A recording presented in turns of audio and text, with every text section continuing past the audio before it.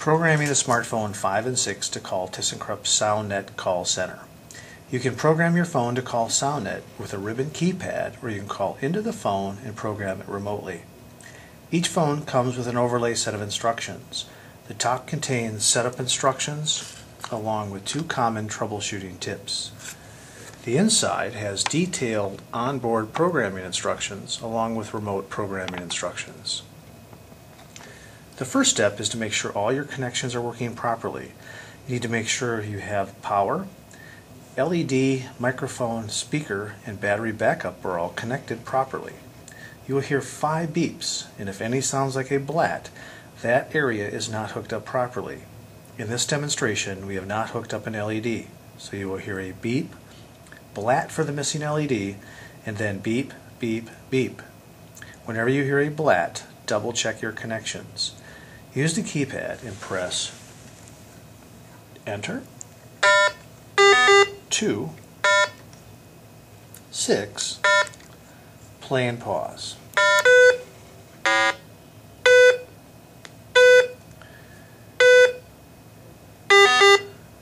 And press stop. The next step is to hook up the phone to an RJ11 phone jack.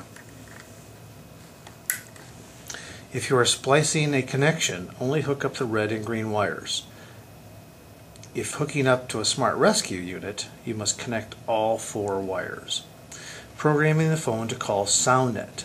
To set the phone for SoundNet mode, press Enter, 1, 9, Enter, 6. To program the phone to call a SoundNet call center near you, you must know the call center's 800 number. Press 1, enter. Now enter in the 800 number.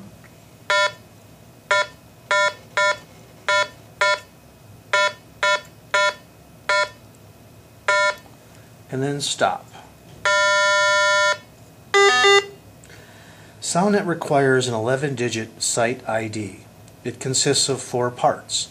The first two digits are the elevator number, the next three digits are the branch number, and the next digit is the service type, and the last five digits is the service contract number.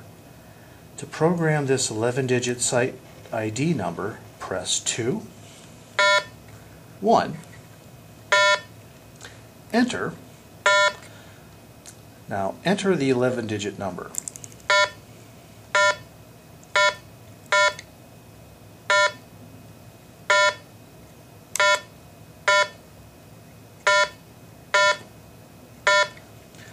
And then stop. The site ID information will appear on the SoundNet computer, so there is no need to record a location message. To turn off the location message, press 1, 3, enter, 0. To exit program mode, press stop for 3 seconds. For additional features, print off our programming instructions. Thank you for choosing RATH.